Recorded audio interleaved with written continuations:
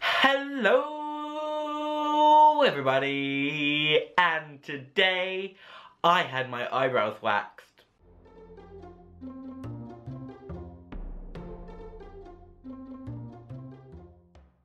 So today I did have my eyebrows waxed.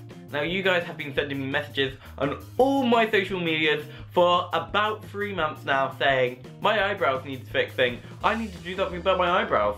Why don't you do something about your eyebrows?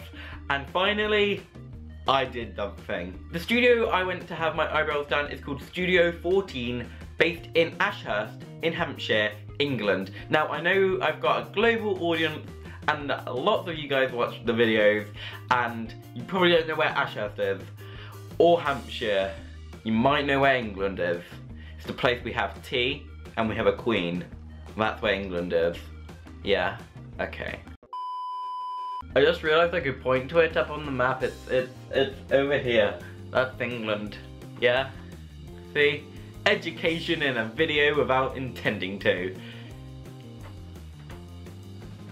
So I will be putting down the website and social medias in the description below of Studio 14 because they deserve all the love they can get because they made me look fabulous. Well, I already look fabulous, but my eyebrows are now fabulous.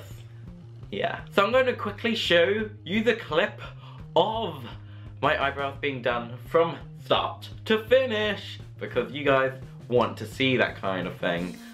Yeah, not quite sure why you'd want to see my eyebrows get wet. Let's play the clip.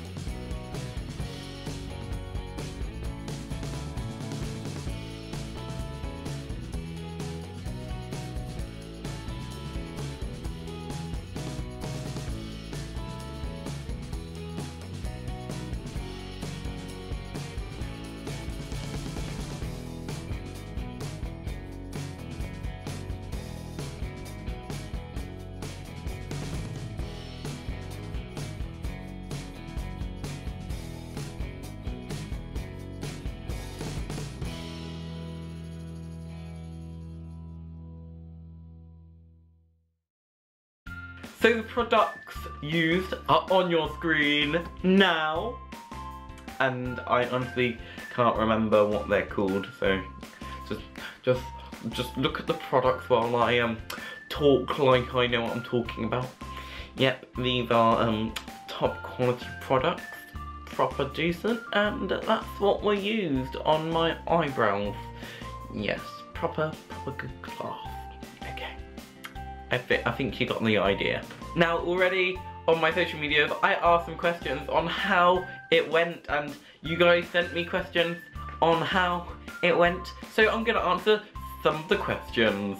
Did it hurt? It didn't really hurt that much just because I'm I'm I'm grown up and I'm mature because I'm fabulous. But no, it didn't hurt much. Would you do it again by the same beautician. Yes, I um probably would have it done by the same beautician because she was amazing. Her name was Natasha, for you ones that wanted to know that as well. But yes, I would have it done by the same beautician again. Yes. What was the best part of your day having it done? Well, probably the fact that my um bulb kind of like split. It like broke without breaking. Yeah, the bulb kind of split. I'm not quite sure how to explain it, but my fuse backfired and that's why it blew up. Yeah. I promise, it wasn't dangerous, it kind of just like... Yeah, that, that what happened with my... That, uh, that's what happened with my bulb. Hence why the lighting's a bit more fabulous. Like me. So that's it for this uh, video. Because it's extremely short, I do apologise. Feel free to listen to the end of the music with a back screen because I know that's how I'm gonna edit it to be because you're gonna like that. Just just to get that extra watch time for myself, but just just to make it look better because my hair, my hair, my my hair is fabulous. So thank you guys for watching. And remember, as always, like my hair again, comment my hair again, and subscribe. My hair didn't fall, I'm, I'm happy. And on that note, go, go, goodbye fades out, watch the black screen, don't end the video. Yet because there's music playing.